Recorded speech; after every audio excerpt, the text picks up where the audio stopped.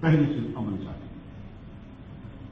پانچ چھ سال پہلے غالباً میں بنو میں تھا، رات میں سویا ہوا تھا۔ تو میں خواب دیکھ رہا ہوں کہ حضرت آدم علیہ السلام سے فون پہ بات کر رہا ہوں۔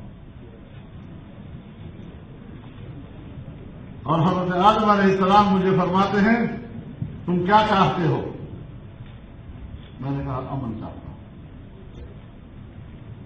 اس کے بعد لائن کٹی نہیں لیکن خاموشی کا ایک وقفہ آ گیا۔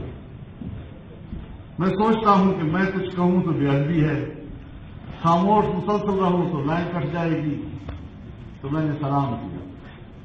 فرمایا، انتظار نہیں کر سکتے۔ تو انتظار تو کر رہے ہیں۔ ابا نے کہہ دیا، انتظار کرو۔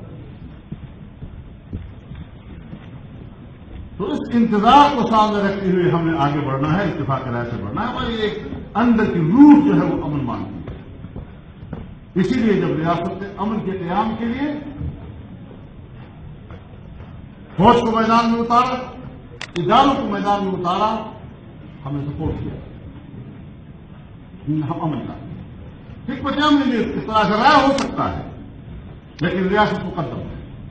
جب اس نے فیصلہ کیا، ہم نے طے لیا لہذا علماء کرام اس بات پر بھی غور کریں کہ ریاست کی اپنی شری حیثیت کیا ہے۔